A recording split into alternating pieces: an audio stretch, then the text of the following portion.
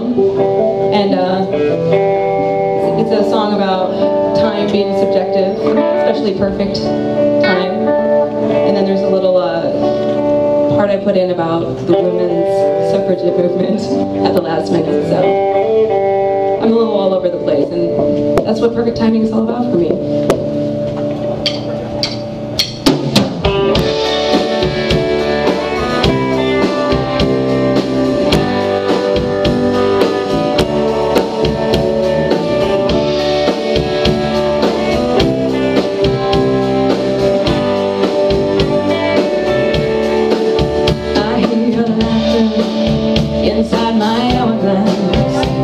ambulance.